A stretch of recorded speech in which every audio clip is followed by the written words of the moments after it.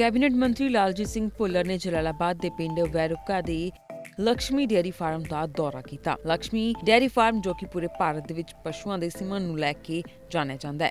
ਪਸ਼ੂ ਪਾਲਣ ਵਿਭਾਗ ਦੇ ਮੰਤਰੀ ਲਾਲਜੀਤ ਸਿੰਘ ਭੁੱਲਰ ਨੇ ਇਸ ਦਾ ਦੌਰਾ ਕੀਤਾ। ਇਸ ਮੌਕੇ ਦੇ ਉੱਤੇ ਉਹ ਉੱਥੇ ਮੌਜੂਦ ਪਸ਼ੂਆਂ ਦੀਆਂ ਨਸਲਾਂ ਵੇਖ ਕੇ ਕਾਫੀ ਪ੍ਰਭਾਵਿਤ ਹੋਏ। ਇਸ ਮੌਕੇ ਦੇ ਉੱਤੇ ਉਹਨਾਂ ਦਾ ਕਹਿਣਾ ਸੀ ਕਿ ਸਰਹੱਦੀ ਇਲਾਕੇ ਦੇ ਵਿੱਚ ਇਸ ਤਰ੍ਹਾਂ ਦਾ ਫਾਰਮ ਆਪਣੇ ਆਪ ਦੇ ਵਿੱਚ ਮਾਇਨੇ ਰੱਖਦਾ ਹੈ। ਉਹਨਾਂ ਕਿਹਾ ਕਿ ਉਹ ਇੱਥੇ ਮੌਜੂਦ ਵਰਲਡ ਚੈਂਪੀਅਨ ਨਸਲਾਂ ਨੂੰ ਦੇਖ ਕੇ ਕਾਫੀ ਪ੍ਰਭਾਵਿਤ ਹੋਏ ਨੇ। ਉਹ ਖੁਦ ਪਸ਼ੂ ਪਾਲਕ ਨੇ। ਅੱਜ ਪਿੰਡ ਵੈਰੋਕੇ ਹਲਕਾ ਜਲਾਲਾਬਾਦ ਦੇ ਵਿੱਚ ਲక్ష్ਮੀ ਡੇਰੀ ਫਾਰਮ ਜਿਨ੍ਹਾਂ ਦਾ ਇਕੱਲਾ ਪੰਜਾਬ ਨਹੀਂ, ਪੂਰੇ ਵਿਸ਼ਵ ਦੇ ਵਿੱਚ ਨਾਂ ਆ। ਤੇ ਸਾਡੇ ਸਰਪੰਚ ਸਰਦਾਰ ਸ਼ੇਰਬਾਜ ਸਿੰਘ ਜੀ, ਬਰਿੰਦਰ ਸਿੰਘ ਜੀ, ਜਿਨ੍ਹਾਂ ਦੇ ਕੋਲ ਪਿੰਡ ਦੀ ਵੀ ਲੰਮੇ ਸਮੇਂ ਤੋਂ ਸੇਵਾ ਰਹੀ ਆ, ਮੈਨੂੰ ਲੱਗਦਾ ਜਦੋਂ ਦਾ ਪਿੰਡ ਵੱਜਾ ਆ, ਉਦੋਂ ਦੀ ਇਸ ਪਰਿਵਾਰ ਕੋਲ ਹੀ ਸਰਪੰਚੀ ਰਹੀ ਆ, ਇਲਾਕੇ ਦੇ ਵਿੱਚ ਨਾਂ ਆ। ਤੇ ਪਿੰਡ ਦੇ ਲੋਕ ਵੀ ਵਿਸ਼ਵਾਸ ਕਰਦੇ ਆ, ਸਰਕਾਰ ਭਾਵੇਂ ਅਕਾਲੀ ਦਲ ਦੀ, ਕਾਂਗਰਸ ਦੀ ਜਾਂ ਸਾਡੀ ਆਮ ਆਦਮੀ ਪਾਰਟੀ ਦੀ ਬਣੀ ਆ, ਫਿਰ ਵੀ ਲੋਕਾਂ ਨੇ ਸੇਵਾ ਜਿਹੜੀ ਨਗਰ ਦੀ ਉਹ ਇਹਨਾਂ ਨੂੰ ਦਿੱਤੀ ਆ। ਤੇ ਜਦੋਂ ਬੰਦਾ ਇਮਾਨਦਾਰੀ ਨਾਲ ਸੱਚ ਤੇ ਚੱਲਦਾ, ਫਿਰ ਲੋਕ ਵੀ ਵਿਸ਼ਵਾਸ ਕਰਦੇ ਆ ਅਕਾਲ ਪੁਰਖ ਵਾਹਿਗੁਰੂ ਵੀ ਸੇਵਾ ਬਖਸ਼ਦਾ।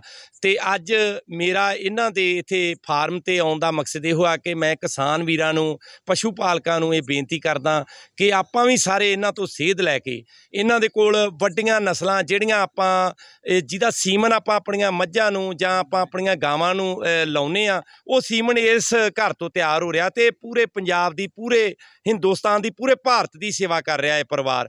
ਇਹਨਾਂ ਦੇ ਕੋਲ ਜਿਹੜੇ ਆਪਾਂ ਸੀਮਨ ਵੇਖਦੇ ਹੁੰਨੇ ਆ ਇਹ ਮੋਦੀ, ਕੋਹਨੂਰ, ਸਿਕੰਦਰ, ਨਾਗ, ਦਾਰਾ, ਟਕੈਤ, ਰਾਣਾ ਜ਼ਾਫਰਾਬਾਦੀ ਜਿਹੜੀ ਗੁਜਰਾਤ ਦੀ ਨਸਲ ਆ। ਤੇ ਇਹ ਆਪਣਾ ਗਾਵਾਂ ਦੇ ਵਿੱਚ ਆ ਜਾਂਦਾ ਸਾਈਵਾਲ ਨਸਲ ਦੇ ਵਿੱਚ ਤੇਜਸ, ਹੀਰਾ ਤੇ ਐਚਐਫ ਦੇ ਵਿੱਚ ਹੰਟਰ, ਬੁਲਟ ਤੇ ਜਿਹੜੀਆਂ ਮੱਝਾਂ ਜਿਨ੍ਹਾਂ ਦੇ ਬੱਚੇ ਜਿਨ੍ਹਾਂ ਦੀ ਕੋਈ ਕੀਮਤ ਹੀ ਨਹੀਂ। ਵਰਲਡ ਰਿਕਾਰਡ, ਮੈਂ ਤੇ ਕਹੂੰਗਾ ਵਰਲਡ ਰਿਕਾਰਡ ਪੰਜਾਬ ਦੇ ਵਿੱਚ ਵੀ ਫਸਟ ਆਉਂਦੀਆਂ ਰਹੀਆਂ। ਰਾਣੀ, ਧੰਨੋ ਲక్ష్ਮੀ ਰਾਣੋ ਮੈਨਾ ਰੋਸ਼ਨੀ ਅਹ ਛੰਨੋ। ਤੇ ਬੜੀ ਵੱਡੀ ਸੇਵਾ ਕੀਤੀ ਆ ਸਰਦਾਰ ਸ਼ੇਰਬਾਜ ਸਿੰਘ ਹੋਣਾ। ਅੱਗੇ ਇਹਨਾਂ ਦੇ ਕਦਮਾਂ ਤੇ ਹੀ ਚੱਲਦੇ ਆ। ਮੇਰਾ ਵੀਰ ਸਰਪੰਚ ਆ ਬਰਿੰਦਰ ਸਿੰਘ। ਇਹਨਾਂ ਨੇ ਵੀ ਬੜੀ ਵੱਡੀ ਸੇਵਾ ਕੀਤੀ ਆ ਇਲਾਕੇ ਦੀ।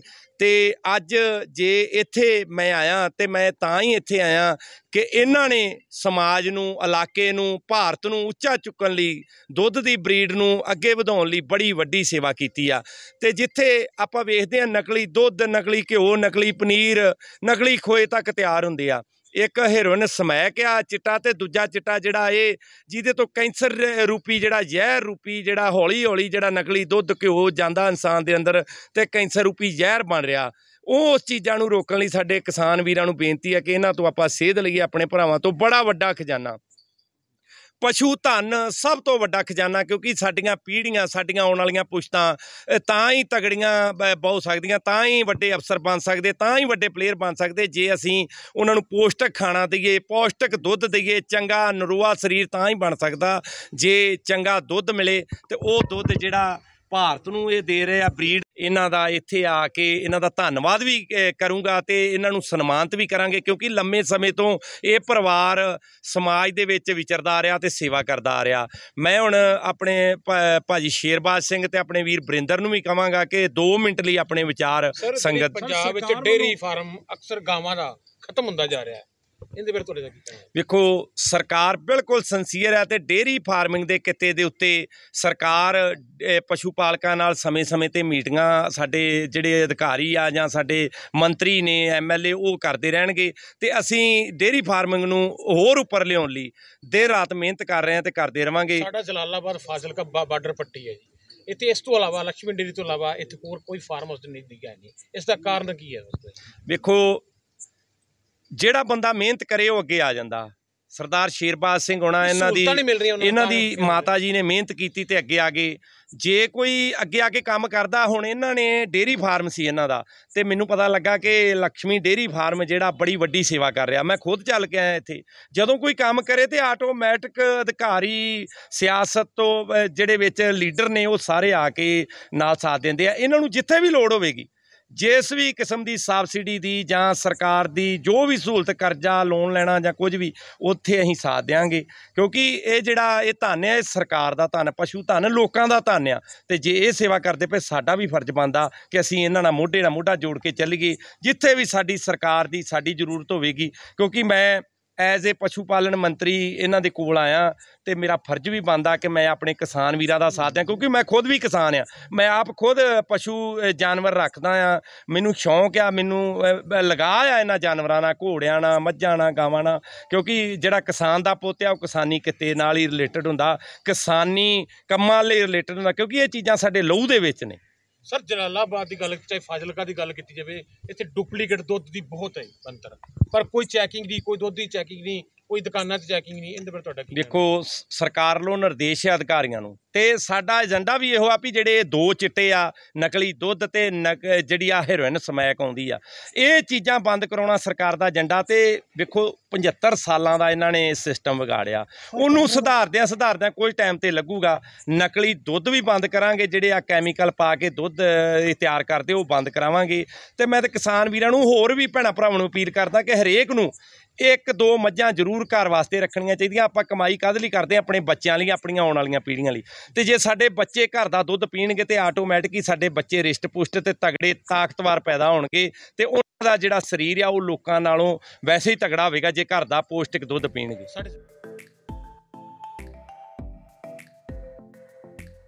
ਲక్ష్ਮੀ ਡੇਅਰੀ ਫਾਰਮ ਦੇ ਮਾਲਕ ਸ਼ੇਰਬਾਜ਼ ਦੇ ਵੱਲੋਂ ਕੈਬਨਿਟ ਮੰਤਰੀ ਵੱਲੋਂ ਉਚੇਚੇ ਤੌਰ ਦੇ ਉੱਤੇ ਫਾਰਮ ਦਾ ਦੌਰਾ ਕਰਨ ਦੇ ਉੱਤੇ ਧੰਨਵਾਦ ਕੀਤਾ ਗਿਆ।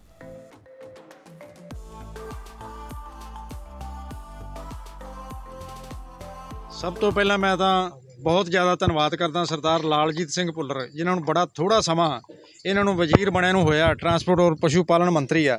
ਇੱਕ ਜਿਹੜਾ ਕਿਸਾਨ ਦਾ ਦਰਦ ਹੈ, ਜੱਟ ਦਾ ਦਰਦ ਹੈ, ਜ਼ਿਮੀਂਦਾਰ ਦਾ ਦਰਦ ਹੈ, ਉਹ ਕਿਸਾਨ ਦਾ ਪੁੱਤ ਹੀ ਸਮਝ ਸਕਦਾ।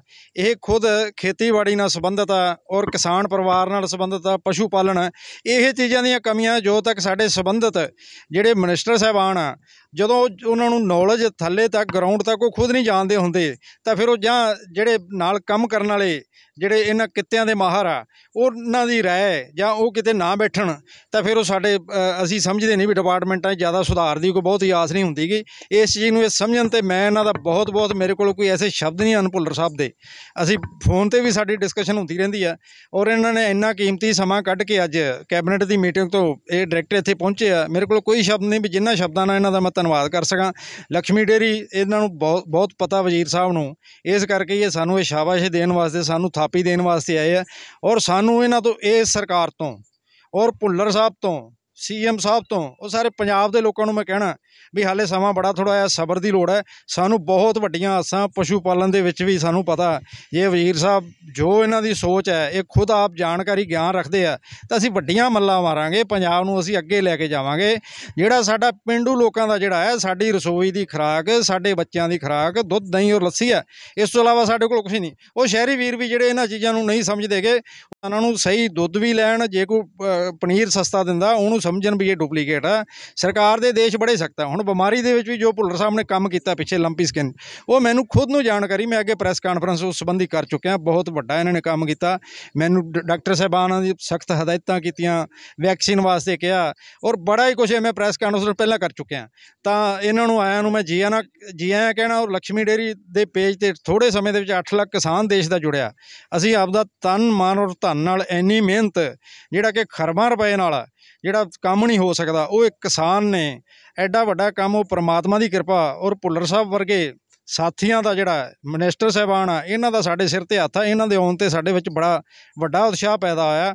ਮੇਰਾ ਬਰਿੰਦਰ ਸਿੰਘ ਬੇਟਾ ਜਿਹੜਾ ਦਿੱਲੀ ਯੂਨੀਵਰਸਿਟੀ ਤੋਂ ਲਾਅ ਕਰਕੇ ਆਇਆ, ਉੱਥੇ ਐਡਮਿਸ਼ਨਾਂ ਵੀ ਬੜੀਆਂ ਔਖੀਆਂ ਹੁੰਦੀਆਂ, ਤਾਂ ਇਹ ਬਹੁਤ ਵੱਡਾ ਅਫਸਰ ਬਣ ਸਕਦਾ ਸੀ। ਪਰ ਉਹ ਸਾਡੇ ਖੂਨ ਦੇ ਵਿੱਚ ਇਹ ਸਾਰਾ ਕੁਝ ਅਸੀਂ ਇਹ ਸੋਚਦੇ ਵੀ ਅਸੀਂ ਦੇਸ਼ ਦਾ ਕਿਸਾਨ ਜਿਹਦੇ ਕੋਲ ਪਸ਼ੂ ਚੰਗਾ ਹੋ ਜੇ, ਜਿਹਦੇ ਕੋਲ ਪਸ਼ੂ ਚੰਗੇ ਆ ਗਏ, ਮੈਂ ਦਾਵਾ ਕਰਦਾ ਕਿਸਾਨ ਦੀ ਇਨਕਮ ਔਰ ਮਜ਼ਦੂਰਾਂ ਕੋਲ ਵੀ ਪਸ਼ੂ ਆ, ਵਧਾਉਣ ਦਾ ਹੋਰ ਕੋਈ ਸਾਧਨ ਨਹੀਂ ਹੈ। ਮੈਂ ਡਾਇਰੈਕਟ ਤੌਰ ਤੇ ਸਾਫ਼ ਕਹਿਣਾ, ਵਜ਼ੀਰ ਸਾਹਿਬ ਮੇਰੇ ਨਾਲੋਂ ਜ਼ਿਆਦਾ ਸਿਆਣੇ ਆ।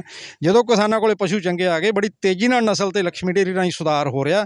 ਤਾਂ ਮੈਂ ਦਾਅਵੇ ਨਾਲ ਇਹ ਗੱਲ ਕਹਿਣਾ ਵੀ ਕਿਸਾਨ ਆ ਜਿਹੜਾ, ਉਹ ਕਦੇ ਵੀ ਫਾਂਸੀ ਨਹੀਂ ਖਾਊਗਾ, ਆਪਦੇ ਪਰਿਵਾਰ ਵਧੀਆ ਪਾਲੂਗਾ, ਪਸ਼ੂ ਉਹਦੀ ਪ੍ਰਾਪਰਟੀ ਆ, ਸਾਡੇ ਕੋਲ ਉਹਦਾ ਐਗਜ਼ਾਮਪਲਾਂ ਆਧਾਰਨਾਂ ਹੈਗੀਆਂ ਸਾਡੇ ਕੋਲ ਝੋਟੀਆਂ ਦੇ ਅੱਗੇ ਇਹਨਾਂ ਦੇ ਬੱਚਿਆਂ ਦੇ ਜਿਹੜੇ ਲਾਈਵ ਆਉਂਦੇ ਆ, ਤਾਂ ਅਸੀਂ ਜਿਹੜਾ ਇਸ ਪੰਜਾਬ ਨੂੰ ਔਰ ਦੇਸ਼ ਨੂੰ, ਇਹਨਾਂ ਦੀ ਅਗਵਾਈ 'ਚ, ਮਾਨ ਸਰਕਾਰ ਦੀ ਅਗਵਾਈ 'ਚ, ਸਰਦਾਰ ਲਾਲਜੀਤ ਸਿੰਘ ਭੁੱਲਰ ਦੀ ਅਗਵਾਈ 'ਚ ਅਸੀਂ ਪਸ਼ੂ ਪਾਲਣ ਨੂੰ ਬਹੁਤ ਅੱਗੇ ਲੈ ਕੇ ਜਾਵਾਂਗੇ। ਇਹਨਾਂ ਤੋਂ ਸਾਨੂੰ ਆਸਾਂ, ਅਸੀਂ ਚੰਗਾ ਕੰਮ ਕਰਾਂਗੇ।